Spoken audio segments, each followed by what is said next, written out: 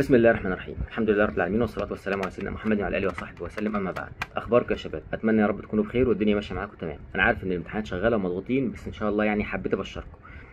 عشان الناس بس اللي بتبعت لي رسائل يا مستر هو مفيش حاجة هتنزل ليلة الامتحان؟ لا يا برنس ده هينزل كوم وابل من الفيديوهات ليلة الامتحان. الفيديوهات دي أنا شغال فيها بقالي 15 يوم تقريبا يعني بشكل متواصل.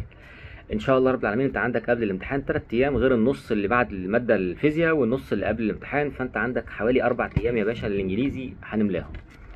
هنعمل إيه في الأربع أيام دول؟ سيادتك هتجيب كده كوباية الشاي المحترمة وهتجيب الكشكول المحترم وتقعد تسمع. أنا هذاكر لك ليلة الامتحان هذاكرها لك أنت مش محتاج تعمل أي حاجة. هيكون في الاتي في كبسولة كده نزلت من كتاب A1 هي فيها مش عارف كمية أسئلة مهولة يعني. أنا معرفش هما كام سؤال تحديدا بس أنا سجلت فيهم حوالي 8 فيديوهات فيديوهات مش طويلة. وبحاول أكون رتمي سريع أكتر من اللازم فيهم عشان الوقت. هعمل إيه؟ هعمل حاجتين. الأولانية إن أنا هنزلها لك في فيديوهات. الحاجة الثانية هنزل لك الملف PDF وأنا بكتب الملاحظات برضو عشان وقتك. فأنت ممكن تمسك النوتة دي تطبعها مثلا. هي تقريبا 100 ورقة باين. هتطبعها طبعا 100 ما تتخضش مش أسئلة كلهم. 100 فيهم شرح وفيهم قواعد وفيهم شرح حاجات كتير. أنت ممكن تصفي الأسئلة تقريبا 40 صفحة يعني. هتمسك الملف ده سيادتك وتقعد في البيت. هتبدأ تحل أول صفحة. في سؤالين وقفوا معاك. تروح جايب انت الفيديو اللي فيهم السؤالين دول تسمع السؤالين دول في الفيديو سلام عليكم. ومش لازم تسمع كل الفيديوهات أكيد طبعا. يبقى دي أول حاجة هنعملها كده هنحل مع بعض كبسولة A1 ده أول جزئية. الحاجة الثانية فيما يتعلق بالمهارات عشان الطلبة طول السنة يعني خايفة من المهارات. المهارات دي يا ابن الناس بيجي فيها سؤالين حالين نفسهم. انت هتحلهم برجليك مش بإيدك.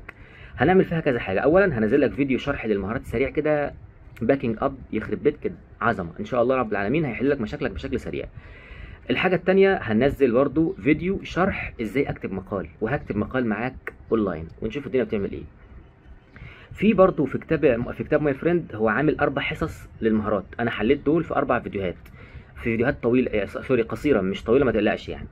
الأربع فيديوهات اللي في كتاب الكتاب My Friend أنا شايفهم إن هم جايبين كل حاجة لها علاقة بالموضوع. بس عشان نبقى يعني ناس الطالب العلم طماع طبيعي فأنا هحل لك الأربع حصص أو أنا حليت بالفعل يعني فيديوهات موجودة بالفعل اتسجلت. أنا ما حبيتش أطلع في الفيديو ده غير لما أخلص كل حاجة عشان أنا ما وعدتش وأخلف.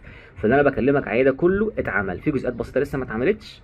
قبل العيد هتكون جهزت إن شاء الله بحيث نبدأ نطلقها مباشرة بعد العيد علشان تطلع من امتحان الفيزياء. متحمس كده وإن شاء الله ربنا يكون نصرك على الفيزياء وتيجي على الإنجليزي وحش.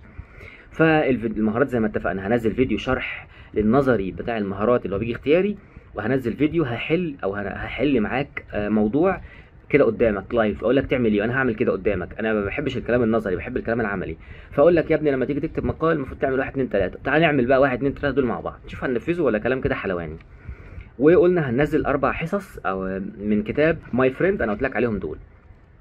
طيب آه، الحاجة اللي بعد كده فيما يتعلق بالقواعد. هعمل فيديو شرح لقواعد المنهج كلها وهحاول أخليه فيديو صاروخ جري. مش هينفع في الفيديو أقول لك والله يا ابني الماضي البسيط من التصريف الثاني للفعل الهبل ده مش هعمله. هجيب لك الماضي البسيط التكتين ثلاثة اللي فيه سريعا كده. هنتعرض الافكار السهلة والأفكار الصعبة عشان تدخل الامتحان كده وانت قلبك جامد وبطل وبرنس. ده بالنسبة لجزئية القواعد طيب يا مستر مش هنحل القواعد؟ لا اسكت. ما هو كبسولة A1 جايبة على كل الأزمنة مع بعضها وجايبة على الأزمنة التراكمية. النهارده أنا كنت بخلص جزئية ال- القواعد التراكمية في الكتاب ده بسجلها يخرب بيت العظمة. قسما بالله فوق العظمة بشويتين ثلاثة أربعة كده.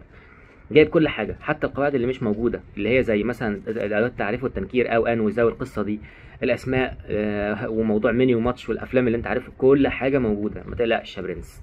طب أنا كده قلت لك في فيديو شرح القواعد وفي فيديو حل القواعد من كتاب أو من جزئيات A1 طيب بالنسبة يا مستر للقصة القصة دي إحنا ملهاش حل غير إنك تقراها بالعربي. اقرأ بالعربي وافهم الأحداث.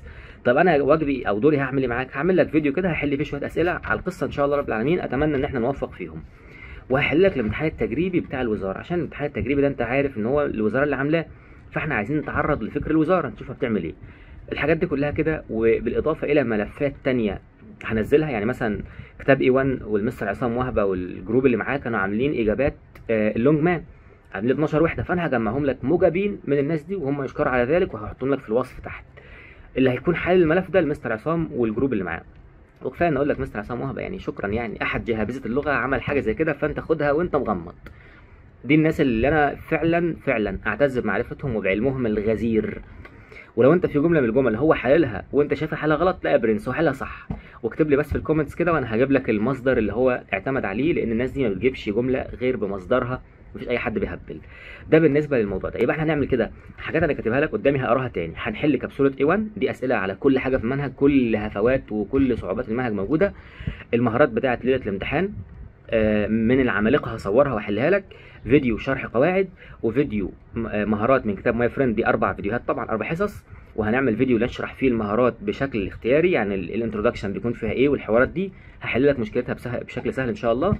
وفي فيديو هنحل فيه أسئلة القصة وهنحل امتحان تجريبي وفي فيديو هنحل مع بعض writing مفيش حاجة إحنا إن شاء الله كده سيبناها. لو في حاجة سيبناها اكتب لي في ال comments أنا ليه عملت الفيديو ده دلوقتي؟ أنا المفروض كنت أعمله من بدري. أنا ما رضيتش أعمله بصراحة غير لما أعمل الأول وأصور 90% من الفيديوهات اللي هتنزل دي.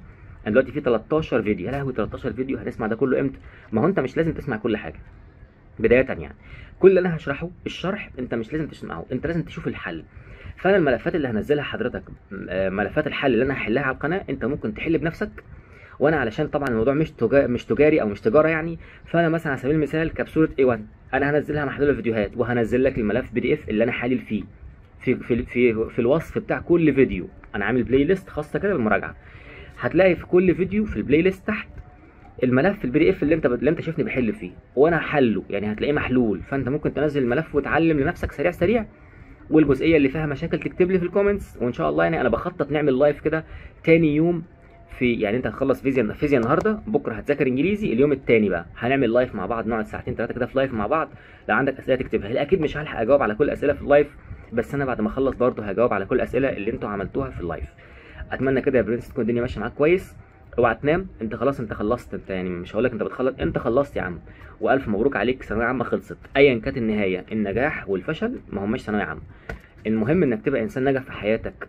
مفيش واحد يعني مش عارف مش عايز أقول لك مفيش دكتور بيكون غني. الناس كلها ممكن تبقى غنية. أي واحد يعني في أي شغلانة ممكن يبقى غني. ال- الأيام الجاية دي حبيبي ال intelligent person is the person who can make money not the person who is highly educated يعني خالص يعني. المهم إنك أنت تكون شخص ناجح في حياتك بتعرف تشتغل بتعرف تعمل business محترم كده تجيب من وراه فلوس وتبقى أنت كده ناجح يا حبيبي. مش لازم تبقى دكتور يا ابن الناس أقسم بالله. مش لازم خالص تبقى دكتور. ولا لازم تتلسع في العيادة 24 ساعة في اليوم. مش لازم. المهم إن ربنا يوفقك كده شد حيلك يا وحش. ومن يوم ما تخلص فيزياء وتطلع هتلاقي القناة معبأة بفيديوهات. وطبعا في جروب تليجرام أنا هتلاقيني برضه حاطه لك في وصف الفيديوهات اللي أنا هنزلها في ليلة الامتحان. لو أنت مستعجل مش قادر على نفسك هتلاقي نفسك بتتواصل معايا في التليجرام. بس عموما دايما لو عندك سؤال عايز تسأله لي اكتب لي أسئلتك في الكومنتس بتاعت الفيديوهات اللي أنت بتسمعها على اليوتيوب عشان أنا بتابع الفيديوهات اليومين دول وبجاوب على كل الأسئلة إن شاء الله.